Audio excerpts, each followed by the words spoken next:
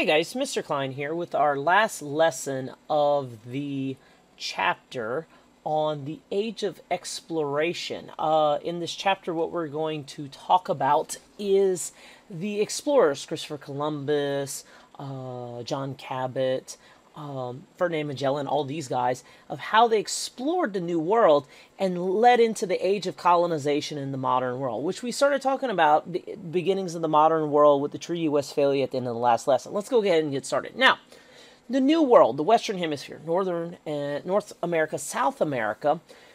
According to popular history, we assumed that Christopher Columbus was the first European to discover it. But however, Europeans knew about the Western Hemisphere since the 1000s uh, because the Vikings uh, traveled across the Atlantic and settled there, and they settled and created colonies in Iceland, Greenland, and even Canada, northern Canada, the, uh, the province of Newfoundland, under the leadership of a Viking explorer by the name of Leif Erikson.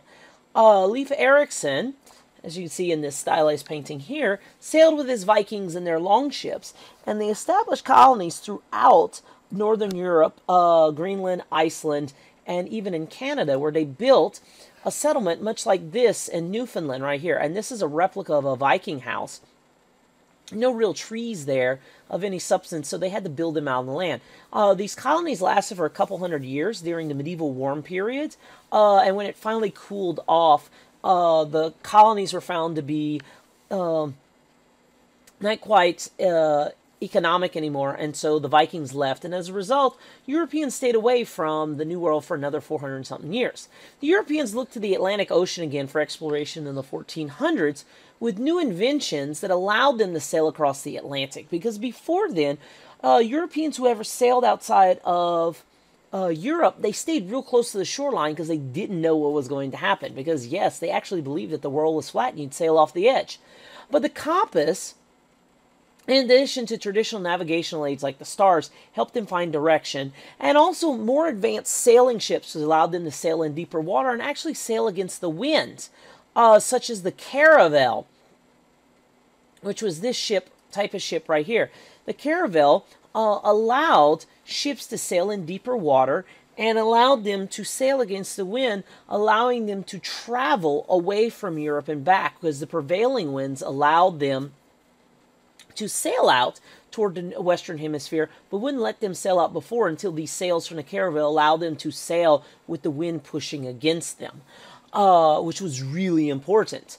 The main reason for this exploration was to find new trade routes to Asia, and in particular India and the spice route. The uh, Silk Road brought spices and stuff over to Europe from Asia, and uh, this allowed people to make money off of it. And the Spanish and Portuguese and everyone else in Europe was looking for a route to Asia so they could cut the middleman out and they could get uh, the spices that they wanted directly. But also, desire, especially at the Catholics, was to spread Christianity and convert all those heathens who weren't worshiping Jesus uh, to the Catholic faith. So let's talk about these explorations. Uh, the first explorers were not Spanish. In fact, they weren't even uh, Italian in the terms of Christopher Columbus. They're actually Portuguese. Portugal, that little country sitting next to Spain. The leadership of these explorations was under a prince, Prince Henry the Navigator. Uh, he was the third son of King John, the King of Portugal. Here's a realistic painting of him right here. Prince Henry the Navigator spent a lot of his wealth developing a college for ship captains, uh, learning uh, how to sail, how to design and build ships, how to navigate using the stars, and how to use land and landmarks to get ships over to the Indies, to India, and back. He spent his own money to fund several voyages, including a famous one by Vasco da Gama. That's this guy right here. Uh, Vasco da Gama went around Africa and arrived in India in 1497, just five years after Columbus sailed to the New World. Uh, Vasco da Gama sailed around Africa, uh, sailed around South Africa, stayed close to the coast, then cut across to Goa and Cal- Calicut, which is where he landed here, creating a uh, trade outpost for the Portuguese there. Of course, the most famous of all these early explorers was not Spanish, but rather Italian. Christopher Columbus. Christopher Columbus sailed for the Spanish in search of a route to India in 1492, the same year the Moors were kicked out after the Treaty of Granada, but instead discovered the Americas in 1492. His trips resulted in the Spanish creating a huge empire in South America, which they held for nearly 300 years. This is probably the most famous painting of Christopher Columbus, even though we're not even sure that was actually Christopher Columbus. Uh, this map right here shows his voyages. The first voyage is in blue. He went to Lisbon, then sailed out, uh, landed somewhere near Santo Domingo, went to Cuba, found the Bahamas, and sailed straight back to the Canary Islands back. He sailed on several more voyages, which allowed Columbus to find more land, claim it in the name of Spain, convert some uh, people to Christianity, and then come back to help establish the empire. The Spanish uh, weren't done exploring. In fact, they figured out that the world wasn't flat, but in fact it was round, so they had grand ideas of actually sailing around the world. And the first explorer to circumnavigate or go on uh, the voyage or go around the earth was led by a man by the name of Ferdinand Magellan. Ferdinand Magellan sailed with a fleet of five ships in 1518, and they returned to uh, Spain with just one ship in 1522. Magellan and uh, his crew, this is Ferdinand Magellan, Ferdinand Magellan right here, traveled around the world. He died in 1521 here in the Philippines after fighting with natives, and the surviving ships traveled around, went through the Strait of Magellan down here, uh, coast of South America, and arrived in Spain in 1522. Uh, Magellan was killed, like I said, in the Philippines, but this proved that the world was round and proved that you could go around the New World and get to India. Spain was content with their empire in South America because they found gold and a whole lot of it, which made them the richest kingdom in the world. But the Portuguese were still busy sailing and creating outposts like they did in India. They created outposts across Africa, like I said, more of them India, China, and they were even the first Europeans to visit and live in Japan uh, creating a settlement and a trading post and bringing Jesuits, if you remember these guys from the last lesson, missionaries bringing Christianity to Japan. And this is a Japanese painting of Portuguese ships landing in Japan. So, uh, that was the Portuguese and the Spanish, and they were the first ones uh, to really sail and settle New World. But they weren't the only ones going and finding the New World. The Portuguese and Spanish, like I said, were content to looking south to Africa and Asia and South America for trade, but the English and the French, the Northern Europeans, wanted to look north uh, for what they heard was called the Northwest Passage, or it was a route around North America to Asia. They figured, well, if uh, Magellan saw the south way, maybe we could go the northerly passage and bypass everybody and get to India faster. The Italians, much like with Christopher Columbus helping out the Spanish, helped out the English and French at first uh, because they were sailors who were used to sailing all through the Mediterranean and into India, uh, bypassing the Silk Road for themselves, leading to the Italian cities with the Renaissance, with Genoa and Venice, like that. Uh, John Cabot, uh, who's this guy right here, uh, that's his English name. Uh, his real Italian name was Giovanni Caboto. Uh, discovered and sailed around northern America and Canada for the English, and the French explorer Giovanni de Verrazano explored the eastern coast and the Atlantic coast of the United States and mapped it out. Uh, and here's a picture of Giovanni de Verrazano. Now, this explorations by the French uh, and English got the Spanish upset because here's the thing the Spanish were rich with gold, and they were at war with an 80 year long war with the Netherlands, the Dutch.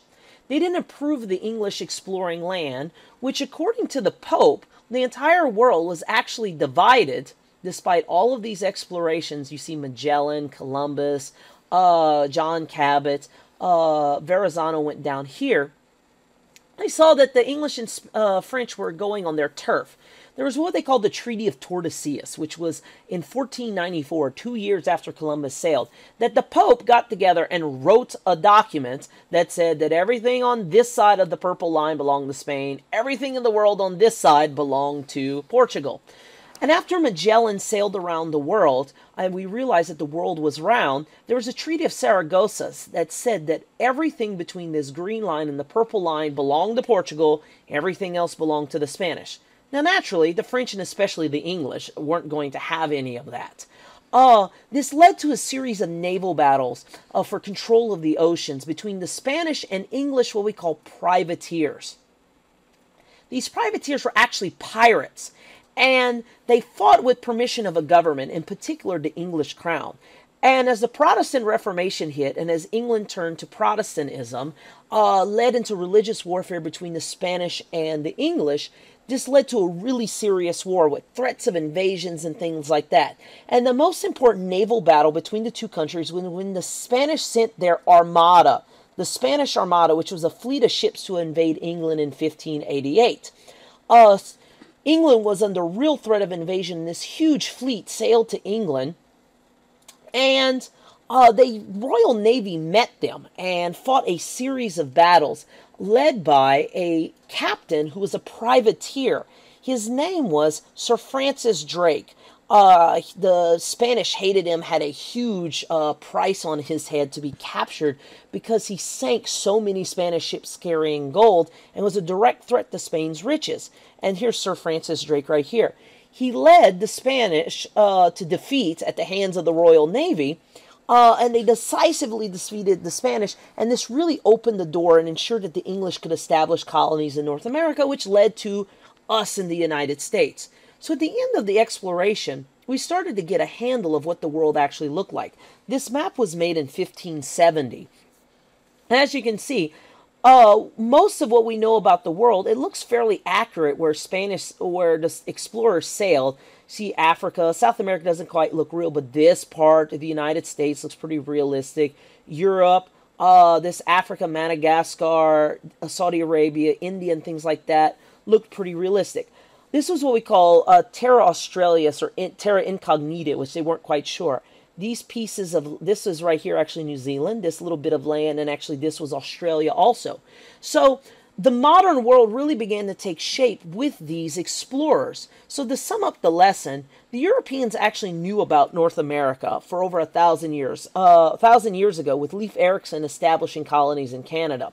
It wasn't until the 1400s, until the invention of the caravel, or the ship that could sail against the wind, allowed explorers to explore. They were looking for trade routes in order to trade directly with uh, Asia. Henry the Navigator established a school in Portugal, leading to people like Vasco da Gama finding a direct route around Africa to India, opening up the spice route. Of course, one of the most famous explorers was Christopher Columbus, who went four times to the New World in search of India, but instead found North and South America, establishing a huge empire for Spain that lasted 300 years.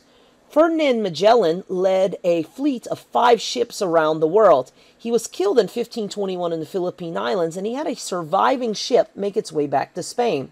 While Spain was doing this, Portugal continued to invest in the East, creating small little colonies across Africa, India, China, and yes, even Japan.